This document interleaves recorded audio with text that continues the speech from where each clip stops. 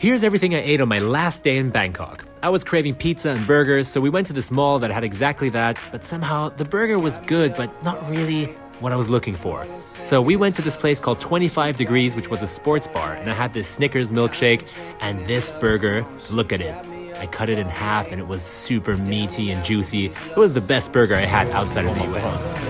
Then I had a couple of street noodles because I knew it was going to be my last night in Bangkok.